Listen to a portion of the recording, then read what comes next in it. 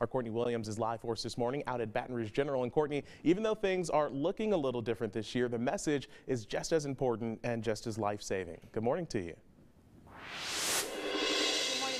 Guys. You're definitely right about that, Jaron. The message is still clear, and it's all about Breast Cancer Awareness Month and the importance of getting tested. And here uh, with me, the CEO, Mr. Edgardo Tenreiro. Good morning. Good morning. How are you doing? I'm doing just fine. So, how are you feeling? It's, it's October 1st, Breast Cancer Awareness Month, and you guys kicking off your Protect Your Pumpkins campaign. Well, you can see our campaign. 2020 has been a bust, but mammograms are still a must. Uh, so important you know, we've seen a reduction in the number of people seeking health care in general, and especially with mammograms. We've seen about a 20% reduction, and because people are afraid of COVID, but there are other risks that we have to mitigate, and mammograms is one of them. So we're here in this chilly morning wearing pink, uh, promoting uh, uh, Breast Cancer Awareness Month.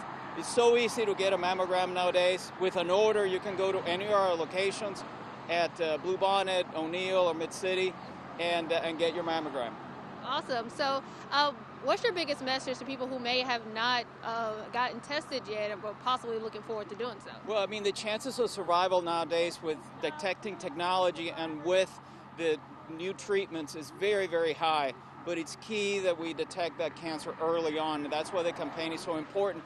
We usually have pink, pump, pink pumpkins here, uh, but usually about five to 10,000 people show up, and we thought in an era of social distancing, it was best to have a more of a virtual approach to it. So you will see these uh, signs pop up throughout town. All of our employees will have them in their yards and all of our locations. So it's all to promote that, that awareness.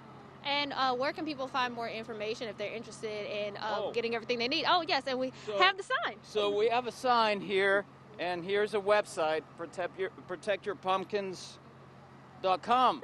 and uh, there you'll see all the locations uh, and everything that you need to bring in order to be ready to get this, uh, get this very important test done. All right. Thank you so much for your time again.